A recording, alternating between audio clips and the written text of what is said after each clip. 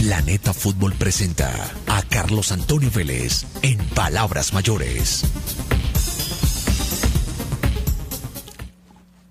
El minuto del ciudadano. Derechos humanos para todos. No solo para quienes repelen la violencia injusta.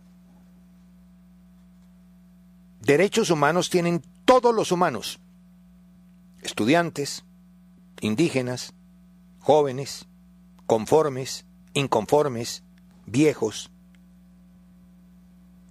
eh, hombres, mujeres, niños, policías, soldados, todos. Todos tenemos derechos humanos, ya que la comisión anda por aquí. Le venden que los derechos humanos solamente los tienen los que vulnerando las normas y las leyes son repelidos por la fuerza pública. No, derechos humanos tenemos todos, absolutamente todos. Nadie está exonerado. O también nos quieren robar los derechos humanos. ¿Mm? No me diga. Es posible. Es posible. Barranquilla es la casa de la selección. Y Barranquilla va a ser hoy otra vez la casa de nuestro equipo nacional. Ayer la alcaldía de Barranquilla puso un video al aire. Lo único que no me gusta del video es la frase esa de sí se puede, porque es que eso es el grito más perdedor que yo conozco. Cuando uno dice sí se puede es porque está admitiendo la superioridad del otro. Y aquí la superioridad la tenemos nosotros. ¿Y quiénes somos nosotros? Los ciudadanos de bien. Entonces, primero debo felicitar a Barranquilla. Hasta ahora ha tomado todas las previsiones del caso. Argentina llegó sin problema, entrena sin problema y esperamos que el juego se desarrolle sin problema porque somos más los que queremos intentar llevar una vida en paz y normal. Entendemos todo, no estamos de acuerdo con muchas de las cosas que pasan, pero las cosas no se solucionan agravando la situación.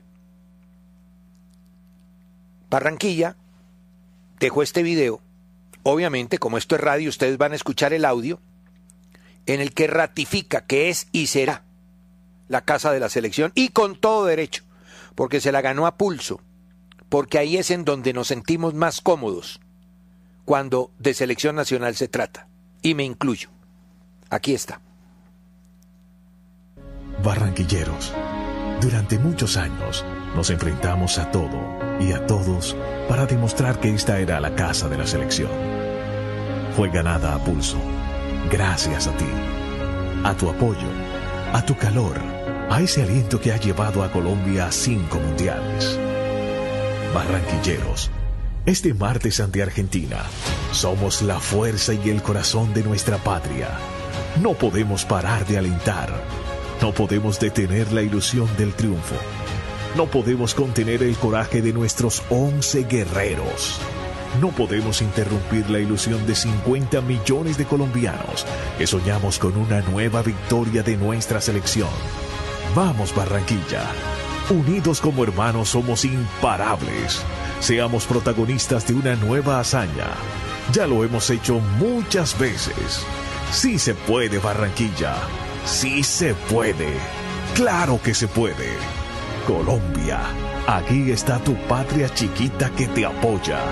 El partido lo jugamos todos y todos vamos a ganar. Sí, señor. Felicidades y que tenga muchísima suerte hoy en la organización del el partido, que va a tener 10.000 espectadores. Pues sí, pues, es que, a ver, ¿Cómo es posible que vaya a ver si estamos en plena pandemia? Claro, estamos en pandemia. El bicho no se ha ido. Y qué miedo. El bicho está ahí. Pero tenemos que aprender a convivir con él. Y si masivamente salen, dicen, a marchar y a protestar, ¿por qué no pueden ir 10.000 a un estadio? O a la hora de la marcha no hay bicho y a la hora del estadio sí. A ver si somos un poquito coherentes ya. La coherencia no es propiamente nuestra mejor aliada. Afortunadamente avanza la vacunación en Colombia y el plan está funcionando perfecto. Corte 2359 junio 7. Dosis acumuladas 11 millones 733 mil 523. Segundas dosis acumuladas 3 millones 471 mil 207. Dosis por día 118 mil 258. Segundas dosis 20 mil 686. Obvio que comparativamente con las máquinas europeas, pues esto no es mucho. O es bueno, pero no tanto. Pero en el contexto en el que vivimos, el plan de vacunación es excelente. Y ahí vamos. Y hay que seguir. Vacúnese. Vacúnese. Porque si ayuda a usted, le ayuda a su familia y nos ayuda a todos. ¿Ya? Y sí, y el que no se quiera vacunar, pues un problema de él y el que quiera salir a la calle sin ponerse el tapabocas y amontonarse y tal, pues bueno, es su problema.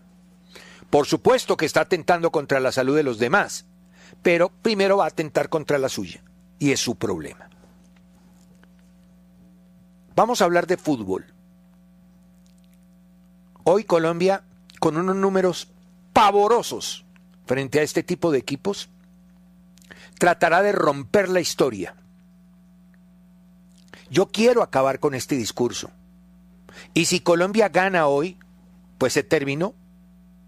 Pero mientras Colombia no le gane a los grandes, tengo que decir que Colombia no le gana a los grandes. Colombia en eliminatorias. Claro, en Copa América nosotros ya nos acudimos de Argentina.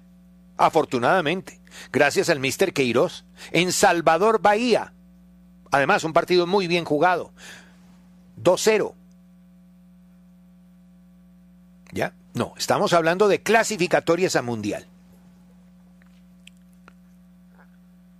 En el 2011 le marcamos por última vez a Argentina, que nos ha ganado la última vez aquí con un gol de Biglia, la última vez allá 3-0, tiro libre de Messi. Era un equipo que jugaba muy mal, y estaba en el peor momento, estaba que sacaban al técnico Bausa. Pero fuimos un desastre y perdimos. Allá y aquí, a Argentina no le marcamos un gol y a los grandes no les ganamos. La última vez que logramos un triunfo fue contra Chile en el 2012. Vamos a completar 10 años. Y si hablamos de Barranquilla, nuestra casa, en las últimas clasificatorias solamente ganamos a los débiles, Venezuela, Ecuador, Bolivia y Perú. Cuatro partidos de nueve. Contra los otros cinco no pudimos. Contra los cuatro grandes, e incluyo a Chile dos veces campeón de Copa América, ni tampoco pudimos contra el débil Paraguay en aquella época. ¿Se acuerdan que ese partido contra Paraguay nos pudo haber costado la clasificación a Rusia?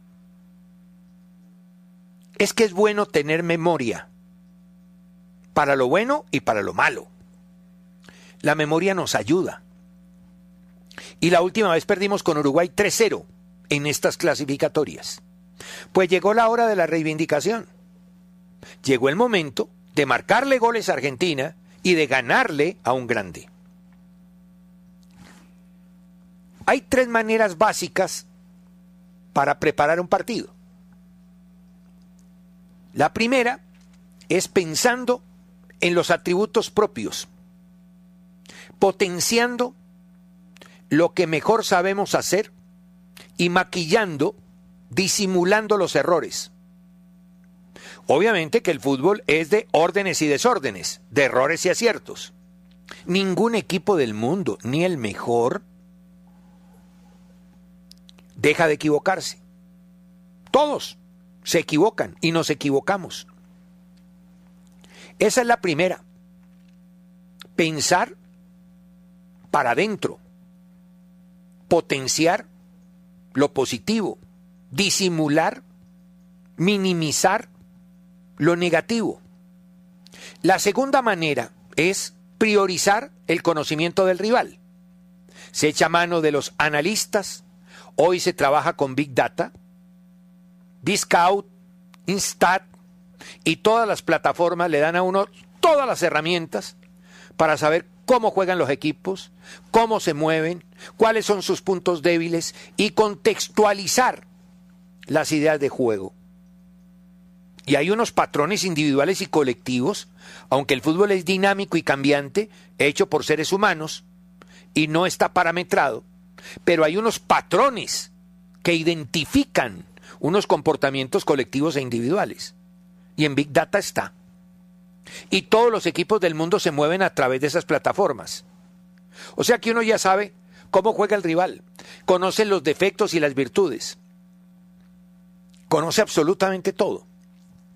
Entonces, hay técnicos que se apoyan únicamente en el conocimiento que tienen del rival y planifican los partidos en torno a eso. ¿Cómo corto la comunicación entre De Paul y entre De y Tagliafico? ¿Cómo corto la comunicación y aíslo a Messi? ¿Ya?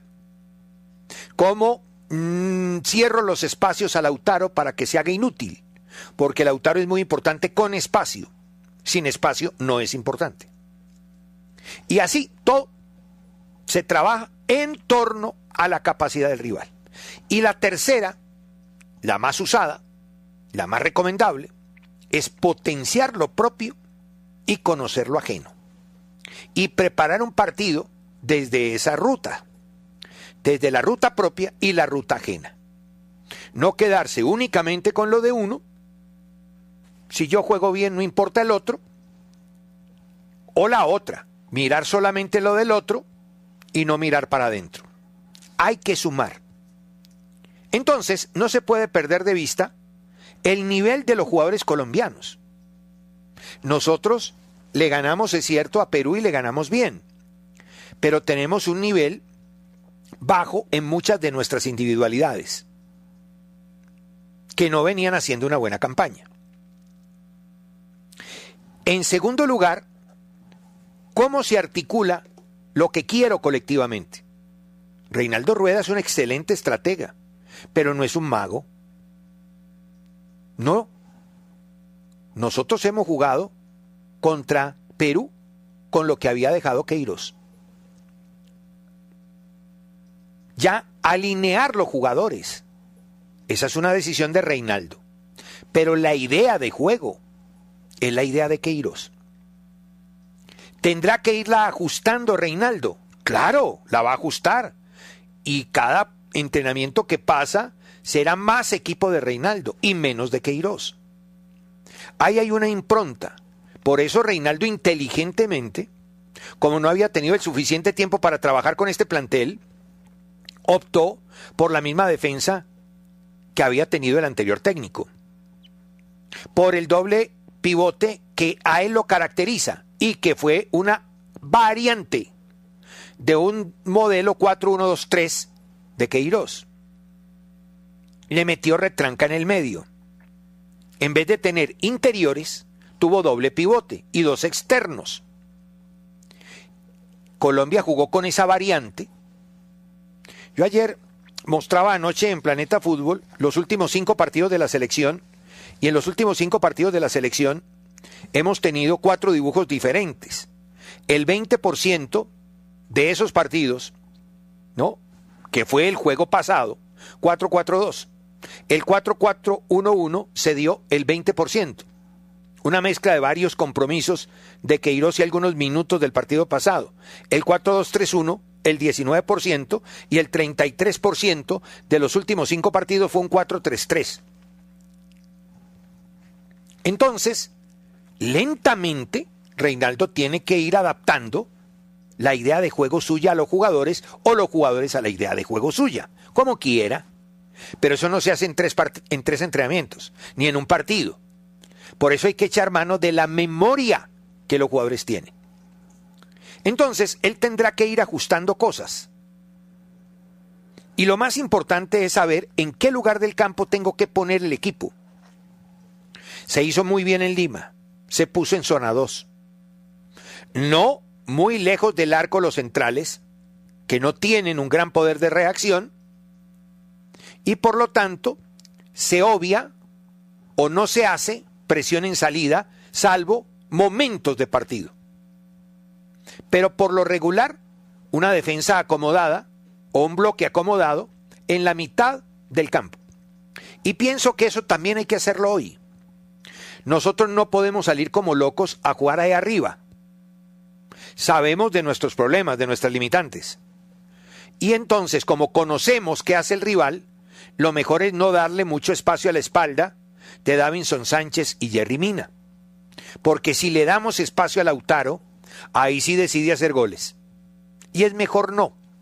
Además, defender muy cerca al arco tampoco, porque una falta y Messi nos puede vacunar de pelota quieta. Dentro de la estrategia, lo mejor es poner el bloque en zona 2, en la mitad del campo. Y ahí cerramos filas, ahí cortamos comunicación, porque ya no se hace marca al hombre. Afortunadamente, cada vez se habla menos de cómo vamos a marcar a Messi. Afortunadamente ya se habla menos de eso. Porque ahora son equipos. Y sí, allá tratan de rodear a Messi de una manera o de otra. Porque es un jugador excluyente. Pero usted no se puede preocupar únicamente de Messi, porque si se preocupa de Messi se convierte en un señuelo y otro te hace daño. De hecho, la última vez que nos ganaron aquí fue gol de Biglia y Messi no estuvo, creo. Entonces, hay que taponar salida de laterales. Para eso tenemos a Cuadrado y a Díaz y juegan los dos, porque supongo que Reinaldo va a mantener la base. Yo no haría sino un cambio. Y todo depende de lo que quiera. Él puede optar por un 4-3-2 o un 4-5-1, 4-3-2-1. Sería dejando a Dubán de punta, mm, Díaz por un lado, por el otro cuadrado, y armar un tribote en el medio, con un seguro de contención que puede ser Cuellar o Barrios, seguramente eh, Barrios, y Cuellar y Mateus Uribe jugando como interiores, ¿no? pero básicamente partiendo de una línea de tres. Esa es una opción. Es una opción que muchos considerarían defensiva. Es una opción de protección porque usted lo primero que tiene que hacer, con ellos o sin ellos, con tribote o sin tribote, es impedir que el contrario te haga gol. Eso es tan viejo como el uso de andar a pie. Los dinosaurios y los del Paleozoico hablaban de esto, ¿no? Hablaban de arco en cero. O sea, eso no es nuevo, eso no es fútbol moderno. Arco en cero. Si yo tengo el arco en cero, dispongo de 95 minutos para hacer un gol. Como usted no necesita hacer 20, porque si usted hace 20 o hace 1 para ganar, igual le dan 3 puntos. Sí, nosotros tenemos unas urgencias de gol diferencia y tal, eso es otra cosa. Por ahora, nosotros tenemos que tener la llave de la puerta. Cierras la puerta ojalá blindada, y tú cargas la llave. Y hay maneras de hacerlo, pero es lo prioritario, lo primordial, y desde ahí edifica lo otro. Entonces, esa es una forma. Y la otra es recurrir al mismo 4-4, pero arriba cambiar la fórmula. Dejar a Dubán y poner un hombre que tenga la capacidad de complemento para evitar que Dubán salga de los dos centrales. No es bueno regalarse entre los dos centrales, pero tampoco es bueno alejarse de la zona de influencia. Y tirar a Zapata por la derecha es un desperdicio. El técnico argentino que tuvimos aquí siete años lo puso por la izquierda. Horror. Horror. Claro que muchos aplaudieron en el partido 1-1 en Lima, que es que brillante Zapata, ni la agarró el pobre Zapata. Y ahora jugó por la derecha. Yo creo que él se siente muy incómodo con otro nueve de sus mismas características. Él necesita un jugador que le regale espacio, no que le quite espacio. Y un nueve complemento podría ser Borré. Borré es jugador de diagonales, Borré es un jugador de venir, pivotear, trescuartear. Y eso le permite a Zapata jugar un poco más arriba sin ser o sin estar obstaculizado por los rivales y por sus propios compañeros. Hay que evitar el fuego amigo. Por eso a mí no me gusta el doble nueve. De pronto hoy repite la formación, llega Muriel y hace tres goles y Zapata hace dos y listo y van a decir que perfecto lo del doble nueve. No. El hecho de que eso suceda, ojalá sucediera, sería la confirmación, como es la excepción de la regla, confirma la regla. ¿Listo? El doble nueve no te garantiza más goles. Al contrario, te garantiza y te asegura menos espacio. Pero Borré sería un buen complemento. Hay que buscar complementos. Ahí tiene usted dos maneras para plantear el partido. Reinaldo de tener cinco más, ¿no? Cinco más. Ellos hablan de poner tres. A ver, una cosa es jugar con tres y otra cosa es jugar con cinco. Tú juegas con tres cuando estás atacando, pero juegas con cinco cuando te estás defendiendo. Y si uno sale con la idea de priorizar el arco en cero, ellos jugarían con cinco si optan por tres centrales. Ahora, si ellos deciden salir a buscar el partido y juegan con tres centrales, esos serían los únicos defensores. Y el resto estaría abocado a jugar a la altura de los centrocampistas, hablo de los carrileros y de ahí en más. No creo que vayan a ser tan arriesgados. ¿ah?